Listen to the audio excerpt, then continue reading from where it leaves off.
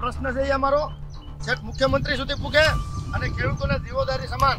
જે પાક કહેવાય, અહીંથી પાવર સપ્લાય થાય તો જ અમને પાવર મળે. આ લાઈન ખરેખર અહીંથી બહાર નીકળી જાય એમ છે. પણ પીજીવીસીએલની બેદરકારીના કારણે આ લાઈન આજ સુધી બરોબર કાઢવામાં આવી નથી.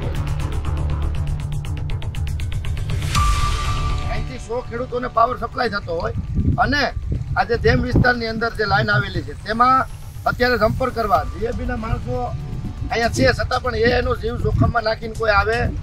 અમારા અમરાપુરથી જે આ વાડી વિસ્તારમાં પાવર જાય તેને કાતરાસા ફીડર કહેવામાં આવે. કે અમારી જે આ ડેમ વિસ્તારની જે લાઈન આવેલી છે, તે બારોબાર ડેમની આ ડેમનો ભાગ છે. તે ડેમ જે ખેડૂતનું આ જે ખેતરો છે તે પાણીના ભર્યા. જેમાં સાચી સાચી પાણી છે, આ બધા ખેડૂતો છે. અહીંથી સો ખેડૂતોને પાવર સપ્લાય થાય છે, મિત્રો. તો આ પાવર અત્યારે આ જમ્પર ગયું એટલે પાવર મળતો નથી. અવારનવાર બીજીવીસીએલના ભાઈઓને રજૂઆત કરવા છતાં આજની તારીખમાં આ લાઈન ખસેડવામાં નથી આવી. જેથી કરીને જમ્પર કરવાની વાત આવે. આજ આઠ દિવસથી અમે ફોલ્ટ લખાવેલો હોય. તો બધા જીએબીના માણસો પણ વાંચે ભાઈ, બતાય.